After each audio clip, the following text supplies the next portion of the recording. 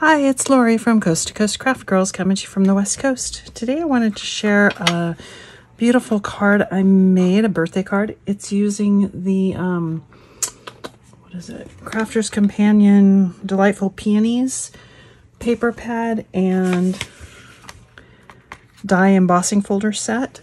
Um, I happened to get it for on sale on HSN. It just came the other day, so I thought I'd play with it. Um, I actually cut into the die. It has another bloom and some uh, leaves at the top, but it wouldn't fit, so I just snipped them off.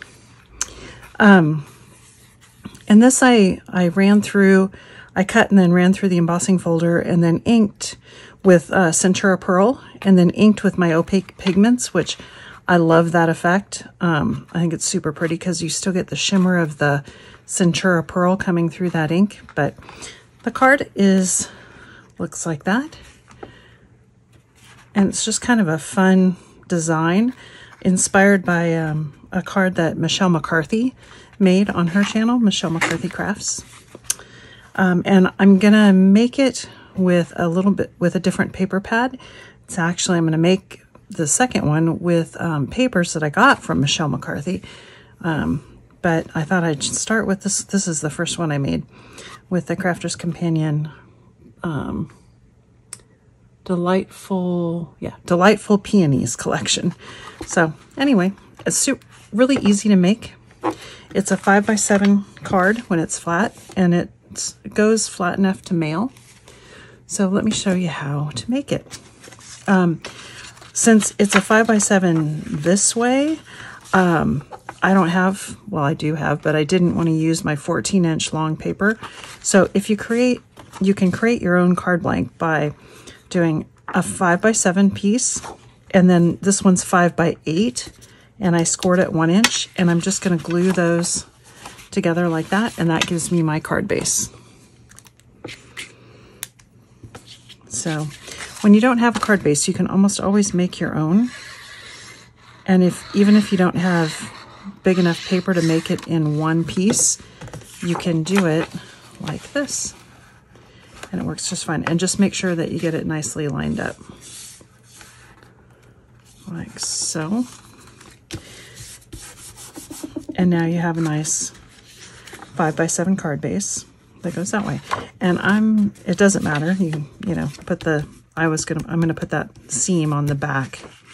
Um, now to create the little internal um, pop outs, you need a little square there.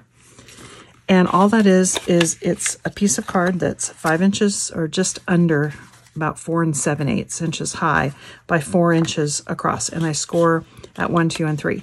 And you're just going to create a little square and glue it right into that corner.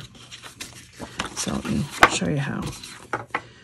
Um, and because this is going to glue on those two sides, you don't really need to do the overlap um, to create the little tube. You can, if you want, do the, you know, actually like do a half inch tab, glue that together and then glue it in.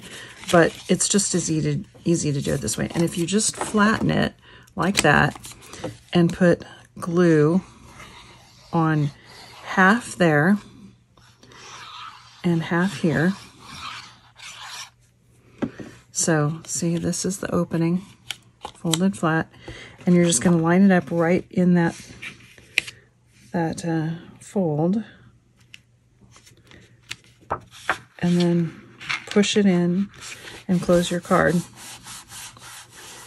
Let that glue grab and that gives you your center square pop-up, just like that. Okay. And it will go flat that way, but you're going to leave it just like that. Okay. Now we're going to do, um, before I put my other pop-ups in, you want to do the matte and layers. And while that glue is drying, I'm going to go ahead and matte, I'm going to go ahead and do the front. Now this is a beautiful paper pad. As I said, I got from Michelle McCarthy Crafts. Um, and I just, I, I, I love the paper and it's so pretty. You don't really need a whole lot of decoration on it because it's just gorgeous. So when you have that beautiful paper, this is a really good way to highlight the paper and without doing a lot of decoration. And I cut this matte layer because I didn't put a solid color. I usually put a, a second matte layer with a solid color under my printed paper, but I did not with this one. So I cut it just an eighth of an inch smaller. And I use my wet glue so that I can wiggle it into place. Perfect. Okay, just like that. See how beautiful that paper is? And I'm going to come back and decorate the front in a bit, but um, go ahead and get that paper on. And then we're going to, I'm going to put two strips on these little one inch tabs. So these are just about 7 eighths inch. Get them the right side up.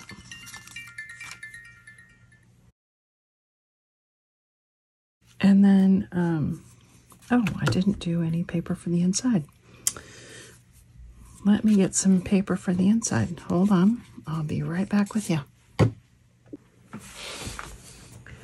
Okay, so I just matted some dark green cardstock, which I thought went well with that. And I don't want to put the pretty pattern paper in here because it's a lot of it's going to get covered up. So if you look at this one, you know, this background paper, I didn't want to waste my pretty paper on that background since so much of it's being covered up. So I just put that dark green, which I thought looked nice. So now we're going to go to our inserts. Um, and you, since I'm going to do it on both sides, you don't have to do it on both sides, but I'm going to put them on both sides. So I have basically a mirror image of each other. So you need two pieces of card that are four by five, scored on the five inch side, so this way, at one inch, or no, at, I'm sorry, say that again, four by five, scored this way at three quarters of an inch, so this is the five inch side, across the top, scored at three quarters of an inch, three and three quarters of an inch, and four and a half. And that's going to give you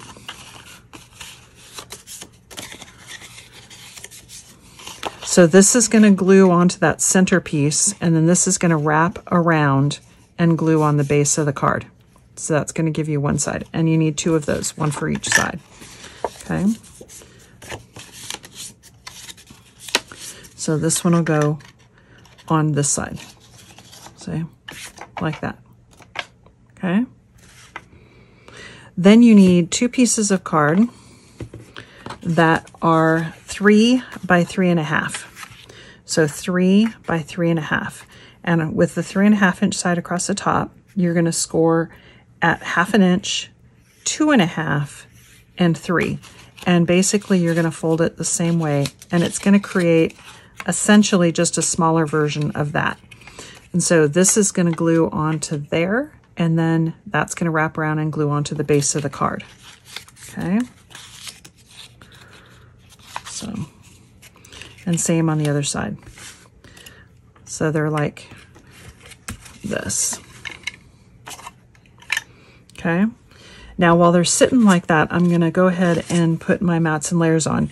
And it's important to remember, especially if you have paper that's directional, you know, put the, the larger straight tab without the curve underneath because this is going to go on the outside because it's going to tuck in and glue on the card. Let me show you what I mean.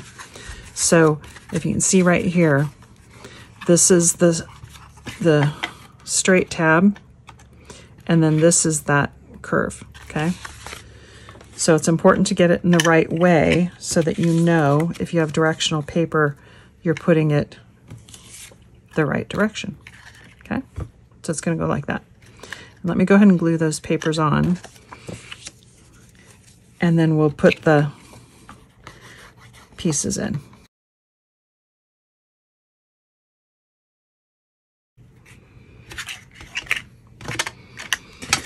Okay, now I'm going to bring my card back in going to switch to tacky glue. So this piece is going to glue onto there and then wrap around and glue there. So the way that I found the, it easiest to do is use your tacky glue and put it just on the single tab first. So just on there. And then you want to set it in the middle and against the bottom and against that edge. Okay. And then you can close it to get that glue to grab. Okay, so now you can see how that's glued on, just like that. And then once you've got that one, now put glue on so it folds over and then on just this little half inch tab. And you want to fold it completely underneath like, like this and then close your card. I'll hold it up so you can see. And then that gives you your pop out, okay? And then we're gonna repeat that with the other side. So again, we're gonna glue, put glue just on that top. Sure I get it straight, correct, the right way up.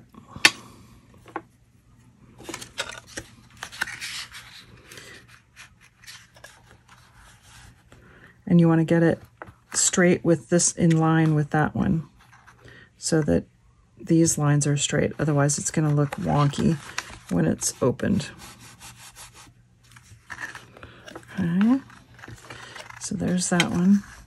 Now we're going to put glue on the little, on not on this first fold, but on the half inch tab. And I know you probably can't see that, but and then you're going to fold it completely under like that. Close the card.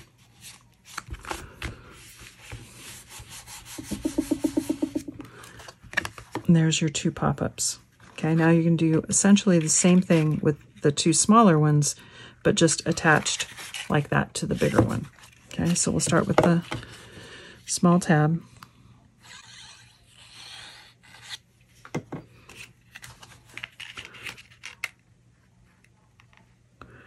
Just put it in the center.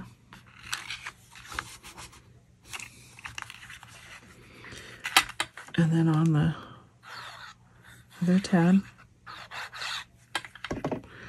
fold it all the way under, close your card.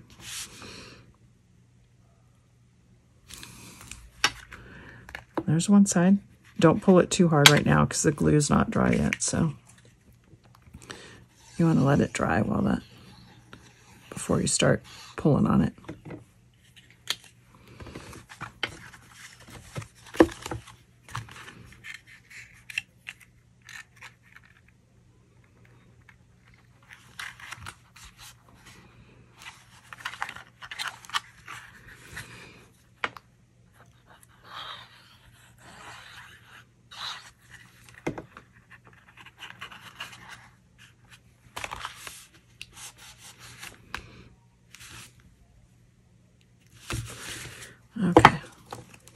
Gives you your pop-up. But I don't want to pull on that, so I'm going to let that glue dry. And while I'm letting the glue dry, I'm going to go ahead and decorate the front. And I've got a little happy birthday sentiment. I just, it's a one of the Crafter's Companion dies. I cut it out of white cardstock, and then I just inked it a little bit with um, Sandstorm, just to give it a little bit of an aged feel. And I layered two of them up because it, it makes it a little more, a little thicker.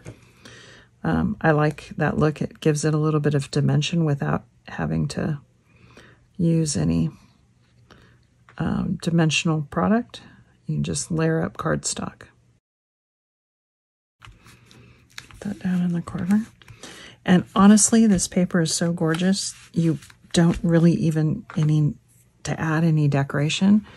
Um, but there were a couple little nice um, add-ons that Michelle sent with the paper.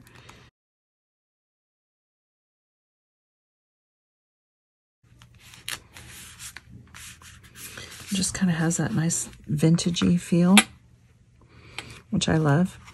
And then I've got one more that I'm going to put on the inside. And I think I'll put it right here.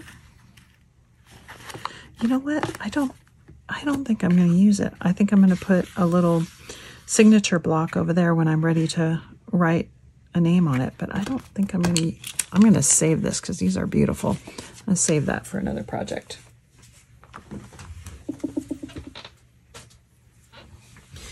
All right. So that's it. I'm all done. It's pretty easy. It's uh but it's just it's a great way to showcase gorgeous paper. That's just a little pop-up. Just like that. Folds relatively flat or mostly flat to post. It's a five by seven card when it's folded flat.